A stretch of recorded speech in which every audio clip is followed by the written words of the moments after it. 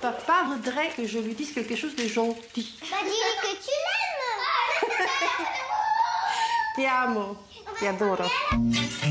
Bon alors je voulais vous dire bravo parce que j'ai lu votre scénario ce matin dans le bus et je l'ai trouvé magnifique. Janson, c'est le mec qui tourne que quand ça lui chante. T'as du charme. Enfin, moi, à chaque jour de tournage annulé, ça me coûte 20 000 euros. Pourquoi tu produis des trucs pareils? T'es maso ou quoi?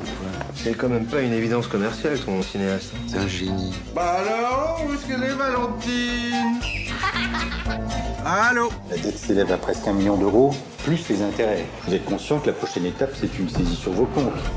J'aimerais beaucoup que tu te décides à être heureuse. On est en train de se noyer.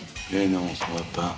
Il y a des solutions, mais il faut tenir. Qu'est-ce qui se passera, Grégoire, si la banque vous lâche Je sais pas.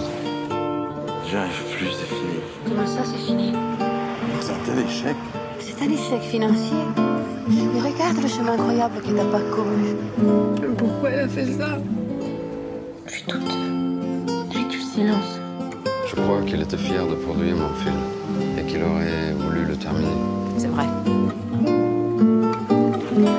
Je vais défendre la société jusqu'au bout. Mais les pensées à l'avenir, ça, ça me donne du courage. Tu me quitteras pas. Je ne te quitterai jamais. Je t'aime.